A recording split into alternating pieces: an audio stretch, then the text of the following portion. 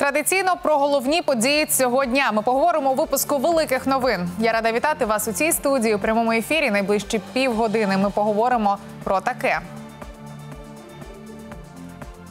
Обіцяли зупинити будівельні роботи, натомість почали розбирати покрівлю. Біля типографії Фесенка і ще один мітинг. Про розв'язання комунальних проблем. Хочеш відремонтований будинок, полагодь його сам.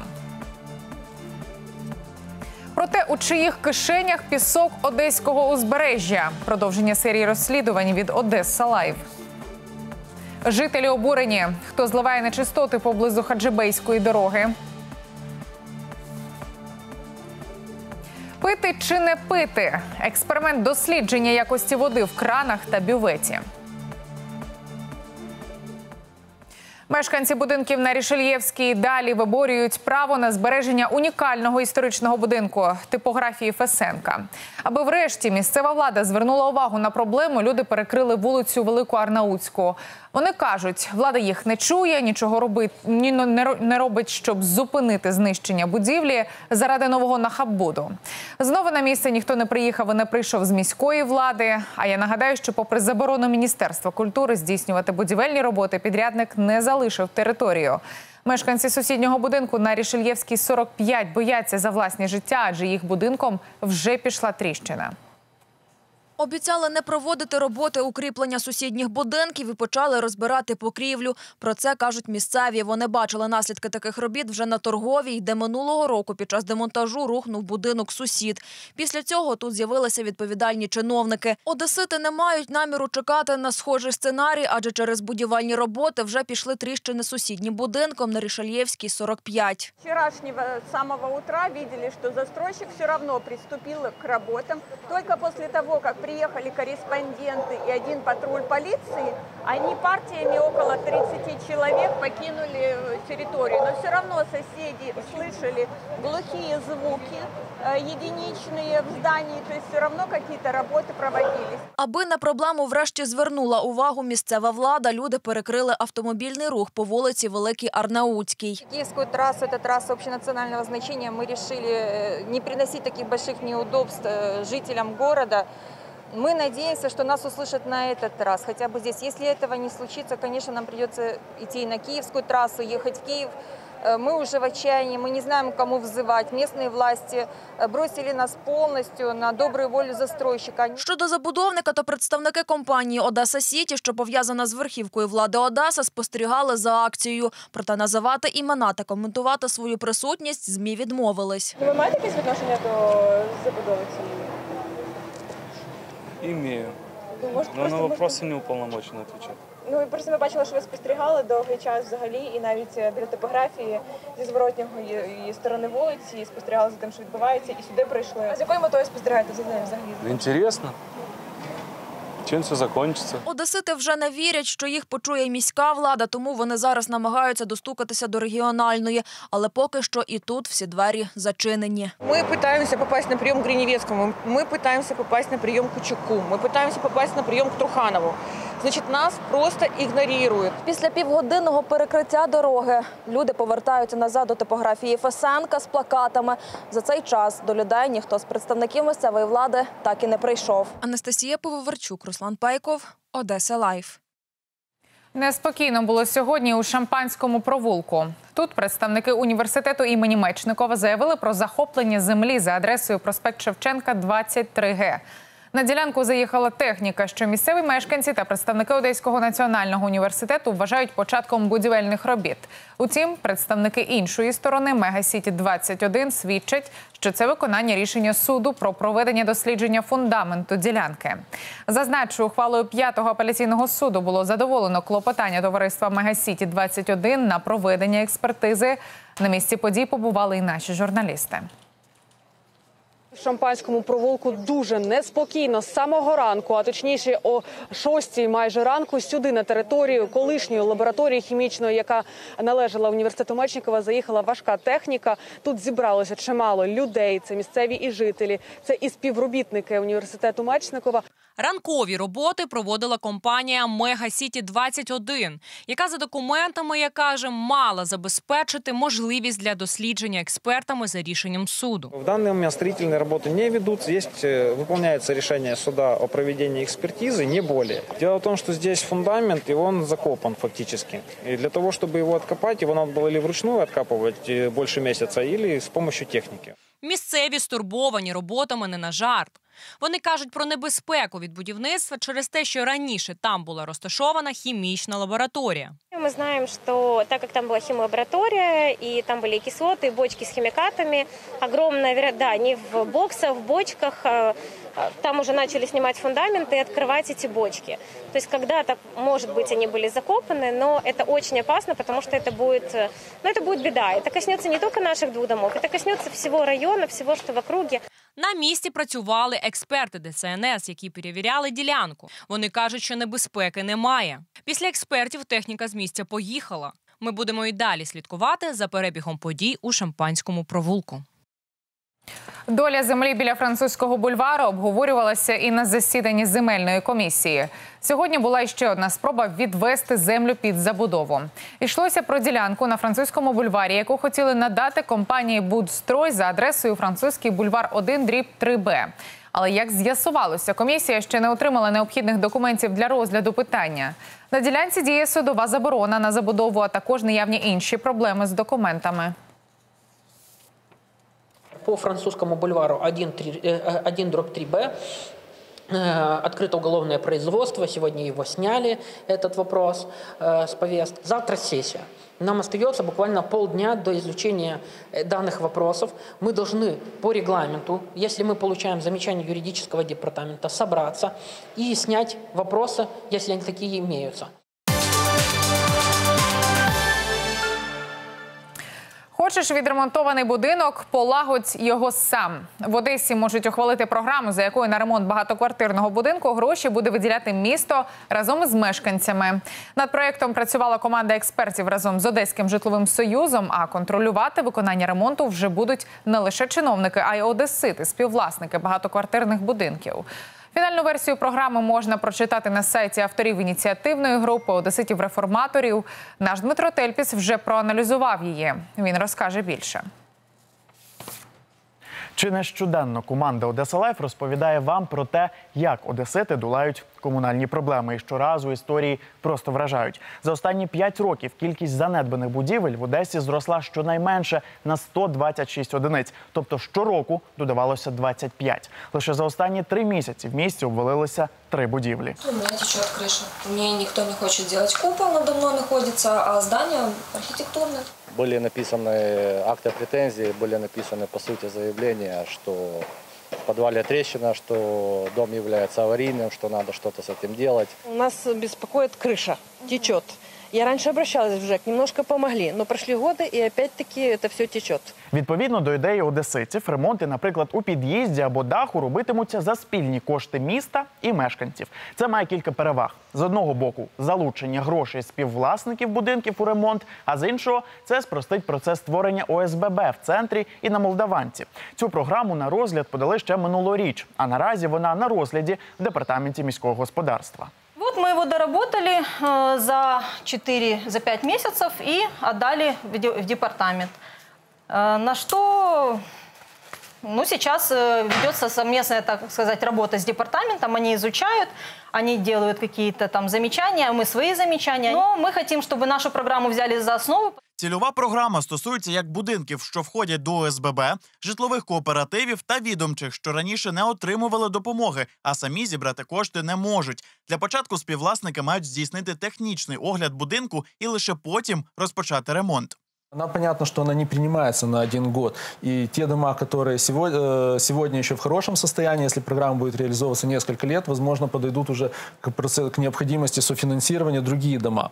Отже, за планами на ремонт спільного майна мешканці матимуть виділити 30% від загальної суми, на протипожежну систему 10%, так само і на модернізацію ліфтів. А от фінансування обов'язкового обстеження будинку власники поділять з міськрадою навпіл. Водночас мешканці покриють 20% вартості протиаварійних та реставраційних робіт у будинках пам'ятках архітектури.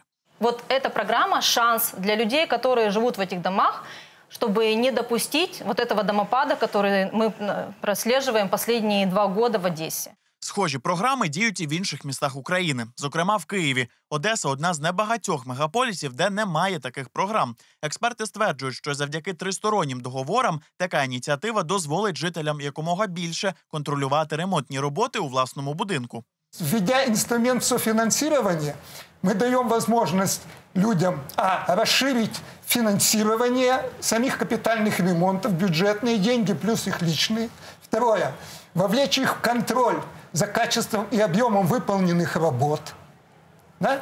И привить культуру ответственного собственника. То, чего у нас, к сожалению, не родилось за эти годы. А втім, у міської влади та одеситів немає спільного бачення цієї реформи. А розробка містян не інтегрована у програму ремонту житлового фонду. Поки що у департаменту свій проект, а в одеситів свій. Чи домовляться вони врешті? Дізнаємося на сесії міської ради. Дмитро Тельпіс, Одеса Лайф. А от більш детально про програму співфінансування ми поговоримо з керівником групи будинків ОСББ в Суворовському районі Валерієм Штефанцем. Пане Валерію, вітаю вас у прямому ефірі. Добрий вечір, да. Пане Валерію, підкажіть, будь ласка, наскільки взагалі цей проект важливий та чи потрібен він взагалі? Ну, я думаю, что выхода другого нет. Бюджет, во-первых, не резиновый. Да? Ну, то есть, как бы выделять э, э, деньги в том объеме, в котором нужно, сегодня ни один бюджет ни одного города не сможет. Это во-первых. Во-вторых, люди, э, ведя ремонт в своих э, домах, должны тоже понимать, что их деньги работают. Если это будет все бесплатно, оно цениться ну никак не будет, поверьте мне. Любой ремонт, который достался на шару, он будет э, быстро э, приведен э, к нулю. Я думаю, что и участие самих жильцов в том выборе подрядчика это тоже немаловажно. Я думаю, что э, другого аль- альтернативы с программе софинансирования абсолютно никакой нет. Підкажіть, а от чи вигідно це буде взагалі для самих мешканців будинків? А Что для мешканцев, простите, выгодно? Им нужно делать ремонт. Лифты устарели, нужно делать. Капитальный ремонт кровли, будь чего угодно, им нужно делать. И если им будут оказывать городской бюджет помощь, то им это не выгодно, а необходимо. Понятие выгода здесь ну, немножко неправильно. Зрозуміло, дякуємо вам за коментар. Дякуємо, що долучилися до нашого ефіру. Нагадаю нашим глядачам, що на зв'язку з нами був керівник групи будинків ОСББ в Суворовському районі Валерій Штефанець. А тим часом на Олексіївський сквер мерія виділяє ще 11 мільйонів гривень. Про це стало відомо з сайту Прозоро. Відтак, роботи з благоустрою скверу в Малиновському районі передбачають демонтаж старого покриття і встановлення нової плитки на алеї, а також часткову заміну освітлення та трамвайних колій. Нагадаю, що у 2020 році місто виділяло на благоустрій скверу 36 мільйонів 700 тисяч гривень. А ми далі продовжуємо досліджувати, у чиїх кишенях, так би мовити, пісок одеського узбережжя. Сьогодні у нашому полі зору опинилися пляжі великого фонтану, які між собою поділили десятки орендарів. Тож хто і скільки сплачує за оренду безцінних гектарів, заробляючи на нашому із вами відпочинку, знає Олена Денисюк. Платимо 10 гривень за квадратний метр на місяць, а шезлон здаємо за 150 гривень на день. Така пляжна математика для одеських орендарів, які за копійки орендують тисячі квадратних метрів берегової зони. Ось узбережжя на 10-й станції великого фонтану, розділене між трьома орендарями. Пляж Чайка належить одноіменній фірмі, що орендує метр за 10 гривень на місяць. Компанія належить бізнесмену Володимиру Осадчуку. Ще більша частина, понад 8 тисяч квадратів, у руках ТОВ Амбер Груп Україна. Компанія сплачує за оренду на місяць трохи більше 6 гривень за метр квадратний. Офіційно Амбер Груп керує Віталій Голованенко. Минулоріч саме тут відбулося протистояння через настил, що вирішили прибрати комунальники разом з молодиками спортивної статури. А з іншого боку, настил захищав депутат із за сумісництвом та й боксер Денис Григор'єв. Помітили незаконну конструкцію в мерії чомусь лише після того, як партія БПП не проголосувала за звільнення заступника міського голови Петра Рибаконя.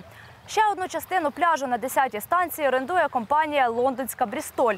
Юконтрол пов'язує її з одеськими бізнесменами Борисом Кауфманом та Олександром Грановським. Далі пляж курортний, що починається на 13-й станції Великого фонтану. Дві ділянки орендує ТОВ «Тріумф Груп» і сплачує 7 гривень за квадрат на місяць. Керівник фірми Петро Юрочкін в минулому році теж став учасником скандалу. Через карантин правоохоронці почали закривати кав'ярні та будки з хот-догами на узбережжі.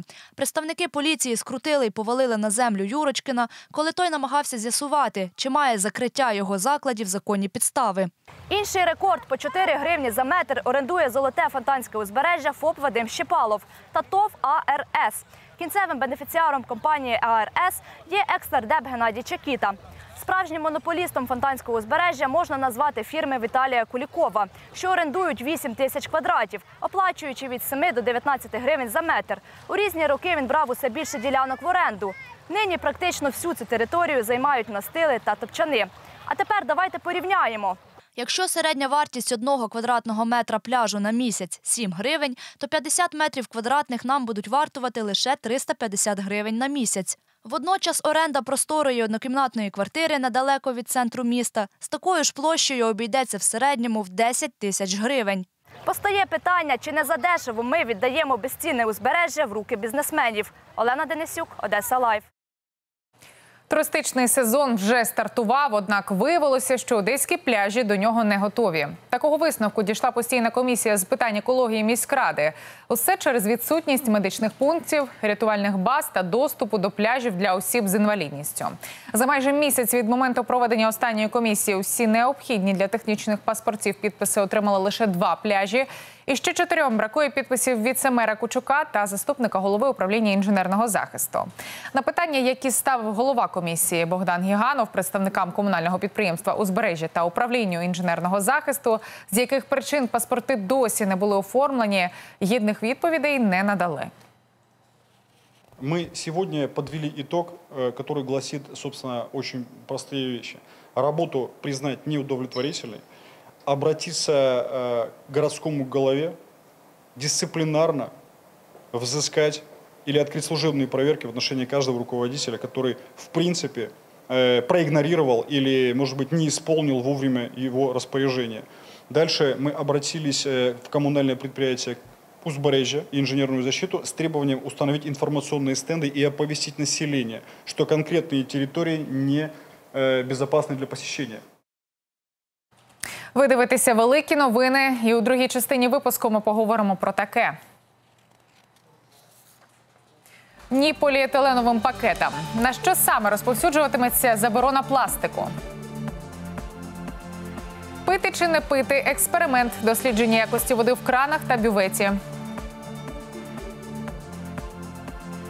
Про порятунок відпочивальників, що є справою професіоналів. На ланжероні відбулися навчання рятувальників. Президент України Володимир Зеленський підписав закон про заборону використовувати пластикові пакети в Україні. Минулого тижня законопроект ухвалила Верховна Рада. Заборона почне діяти з 1 січня наступного року, проте під обмеження потрапили не всі поліетиленові пакети. Які є винятки та чи готові у мережах супермаркетів до такого нововведення? Далі у сюжеті. Щороку кожен українець використовує близько 500 поліетиленових пакетів, а 160 тисяч пластикових торбинок у вжитку в світі щосекунди. Розкладаються вони по 100 й навіть більше років. Тепер в Україні така тара майже під забороною. До початку наступного року усі магазини і супермаркети мають від неї відмовитись. Під обмеження потрапили тонкі, надтонкі та оксорозкладні пластикові пакети. Приміром, ось такі товщиною 50 мікрометрів. Розповсюдження подібних турбинок каратимуть штрафом від 8,5 до 17 тисяч гривень. Дозволено користуватись лише біорозкладними пакетами. Ну а зараз в моїх руках звичайний біопакет. Як ми бачимо, він нічим не відрізняється від звичайного поліетиленового. І тут написано, що він розкладається протягом трьох років. Його ціна 3,50. Тобто він повністю доступний для усіх українців. І деякі мережі супермаркетів дають е, лише своїм клієнтам альтернативу в вигляді такого пакету. Екоактивістка Анна і без заборон вже давно старається не брати в маркетах пластикові пакети. До магазину приходить із купою мішечків із тканини, паперу та фольги. Цій е, сумці, ну е, я думаю, що набагато більше і 5, і 6, і 7 років. Ця сумка у мене одна з найперших, тому вона така трохи виснажена, але при тому вона абсолютно не втратила своїх е, властивостей і її можна користуватися і надалі. Навіть на заміну тоненьким поліетиленовим пакетам у жінки є альтернатива. Можна використовувати такі сіточки, або в принципі є багато продуктів, які в принципі не потребують жодного пакування. Е, Наприклад, коли ви берете небагато або ну, там ті самі банани, ви можете наклеїти наліпку з вагою і вартостю на сам продукт. Так само, наприклад, з капустою. У деяких столичних супермаркетах до цього питання підходять так само свідомо, як і Анна. Заохочують людей не брати пластикові пакети. Зокрема, пишуть про це на стендах біля овочей та круп. Пропонують альтернативу. Не потрібно кожен продукт, особо і коли ви берете е, декілька продуктів, е, не потрібно для кожного продукту е, класти в, в, в віддільний пакет. Тому я закликаю використовувати сумочцю і клеїти стікери на цю торбинку. У супермаркеті планують якнайшвидше відмовитись від пластикових пакетів, але питання нині стоїть у дійсно альтернативних пакуваннях. Зараз вже ми почали поиск е, локальних виробників альтернативних видів пакування, які зможуть нам запропонувати альтернативу поліетиленовим паке- пакетам. Але зараз в наших торгівельних центрах вже ми використовуємо і пропонуємо нашим клієнтам використовувати паперові пакети, е, багаторазові сумки. Щоправда, відмовитись від використання маленьких пакетів ще не готові покупці. Мовляв, звичка. Рука сама тягнеться до поліетиленових пакунків. Я загальними сумками користуюсь господарськими багаторазового використання і не купую великі пакети. А овочі пакую по звичайних. Імовірно, коли торгівельна мережа запропонує дійсно зручну альтернативу, і в самих покупців сформуються нові звички. Забрудненням навколишнього середовища переймаються також і ті, хто живе поблизу Хаджибейської дороги. Вони повідомляють про незаконний злив відходів. На думку людей, таким чином земля у цьому районі забруднюється. Аби вирішити, у чому справа до району виїхали спеціальна комісія з екологами та фахівцями інфокс водоканалу. Також тут побували і наші журналісти. Усі деталі у їх сюжеті. Зараз знаходимося поблизу Хаджибеївської дороги на так званих технічних полях інфокс водоканалу. На одному з цих полів інфокс водоканал та біологічна станція інфокс водоканалу зливали нечистоти прямо в поле. Как объясняет Инфокс Водоканал, что это часть э, технологического процесса э, по очистке отходов, что на этот э, земельный участок у них есть право собственности, и что это всего лишь часть технологического процесса. Но в марте месяце было возбуждено уголовное дело. Сегодня отбирались пробы, была экологическая, областная инспекция, была полиция, вот представитель Инфокс Водоканала. Мы находимся на полях фильтрации, что является неотъемлемой частью технологического процесса станции биологической чистки «Северная». Э, Земля специально, еще раз повторю, технологическая, земля специально отведена для этих целей. Это идет до очистка активного ила и э, активного ила и сырого осадка. Это является технологической землей, которая находится в аренде у Инфокс водоканала. Ось, власне, і почули е, коментарі і однієї, і іншої сторін. І, власне, ми будемо доповнювати ці коментарі.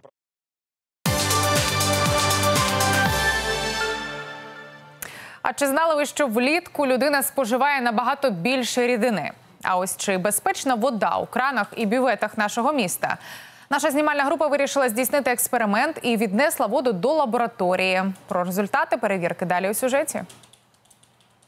Знайома ситуація. Вдома скінчилася питна вода, а пити ну дуже хочеться. І тут око падає на, наприклад, кухонний кран. А ось і спасіння від спраги. Та чи безпечне? Або, можливо, ви віддаєте перевагу воді з бювету та використовуєте її для миття посуду або рук. Та чи варто це робити? Чи відповідає вода, якою ми користуємося, усім необхідним нормам? Ось ми і вирішили це перевірити, і тому приїхали до Одеського регіонального центру стандартизації, метрології та сертифікації на вулиці Кузнечна, 13. Адже саме тут можна зробити лабораторний аналіз води. Що необхідно зробити, аби перевірити воду, ми вирішили звернутися до експертів. Для этого потрібно заполнити запрос, і я зараз вам принесу баночки стерильні. Після того, як ми заповнили договір, до нас прийшла керівниця лабораторії пані Лідія та надала рекомендації щодо проведення тесту. Мы э, вам предоставляем сейчас стерильную тару. Мы сами ее стерилизуем в автоклаве. Это у нас э, э, стерилизатор паровый под э, температурой паром. Мы его стерилизуем, извините за тавтологию, но так оно получается. Э, Вы в нее набираете, получается, э, сейчас у вас, э, я так поняла, будет три образца воды вот под этот уровень. Отож, ми будемо проводити дві експертизи. Для однієї ми використовуємо звичайну пляшку з водою, а для іншої в центрі нам видали стерильну пляшку. Ми приїхали до старобазарного скверу, а саме за адресою 3Ю, адже тут знаходиться бювет. І зараз ми будемо набирати воду саме тут з цього бювету для того, щоб перевірити її якість. Зараз спочатку наберемо 5-літрову баклаху. Ось таким чином це зробимо. Наступною локацією став бювет на вулиці Старопортофранківська, 3Ю та звичайний кран на вулиці Приморській. Отож, всі зразки набрані, тому рушаємо до лабораторії.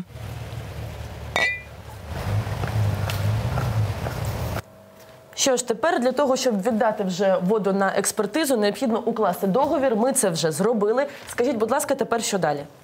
Далее мы берем работу и можете прийти к нам через трое суток. Що ж, ось і минуло вже три дні з моменту, як ми здали три зразки води для двох видів аналізу. Наразі результати вже мають бути готові. Давайте підемо та дізнаємося, які ж вони. Піднялися вже до лабораторії. На нас тут вже очікують. Давайте зайдемо та поспілкуємося, дізнаємося, які все ж таки результати. Вы принесли нам три образца воды. А, Бювет э, номер один, вот э, здесь указан Старобазарный сквер, Старопортофранковская, это второй образец. И вода из-под крана, это водопроводная. Мы проверяли воду что по микробиологическим показателям, что по физико-химическим, согласно державных санитарных правил та норм, э, э, что по физико-химическим показателям, что по микробиологическим Вода соответствует всем нормам, требованиям. Единственное, там я за свою часть, за микробиологию могу сказать, э, немножко слегка застоявшаяся, слегка, но все равно в норме находится. Это бюветная вода, но это все равно в пределах нормы. Що ж, ось такими виявилися результати мікробіологічного та фізико-хімічного аналізу води з двох бюветів та з-під звичайного крану. З'ясувалося, що вода відповідає усім необхідним нормам, і за словами експертів, її можна навіть пити. Тож тепер можна бути спокійними і без вагань використовувати воду в будь-яких побутових цілях. Тож будьте здорові і залишайтеся в ефірах телеканалу Одеса Live. Багато небезпеки приховує вода і у водоймах, зокрема в морі. Щойно людина впала з водного скутера, як рятувальники водолази вже вирушили на допомогу. Саме так проходили навчання фахівців цієї героїчної професії на ланжероні. Там рятувальники відпрацьовували прийоми допомоги для людини, яка не втримується і падає зі скутера. Як водолази рятують життя? Далі у сюжеті. Це головний герой навчань рятувально-водолазної служби, що відбуваються на пляжі Ланжерон. За легендою, він вирішив поганяти на скутері, втратив контроль і впав у воду. Через сильний удар головою втратив свідомість і почав тонути. Це помітили з рятувального посту і миттєво вирушили на поміч потерпілому.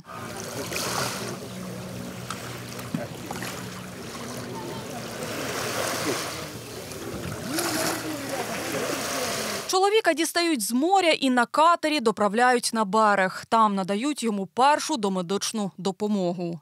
Такий сценарій відпрацьовують не випадково, кажуть рятувальники. Саме з любителями швидкості на воді найчастіше стається лихо. Скутер э, развивает скорость до 100 км в час, и не каждый понимает при падении, что может произойти. Зачастую, я же еще раз говорю, удар может быть в такой степени, что разрывается одежда и даже жилеты. Просто разрывается. Також багато нещасних випадків на воді стається через алкоголь та наркотики, додають рятувальники. На щастя, в цьому сезоні трагедій не було. Утім, вирушати на допомогу їм доводиться ледь не щодня. Останній такий випадок стався буквально учора. Вчера э, был рекорд полтора километра от берега, пляж Дельфин, мужчина, одессит. Э, решил поплавать, потому что пока скутеров нету. Ну, такой был ответ. Вытаскивали на бриге, нормально, адекватный мужчина, в трезвом состоянии. Ну, вот решил спортсмен проплыть. Тому рятувальникам постійно потрібно бути в тонусі та вдосконалювати не тільки фізичну, але й моральну підготовку. Психологічна готовність до виконання цих функцій є одним з найважливіших е, моментів, тому що море, ви знаєте, не завжди сонячне, не завжди спокійне. Нинішні навчання були більше показовими, хоча не під прицілами телекамер. Тренуються щодня, запевняють рятувальники. Тим паче багато співробітників приходять на роботу лише на період курортного сезону. Тому важливо, аби кожен з них міг швидко та професійно прийти на допомогу. Вікторія Спринчак, Андрій Богомолов, Одеса Live. Це були всі новини. Бережіть себе та залишайтеся разом із телеканалом Одеса Live. Далі ще більше актуальних тем у програмі Добрий вечір з Вікторією Ортіс та її гостями у студії. Я ж повернуся у цю студію вже завтра у великих новинах. Бережіть себе на все добре.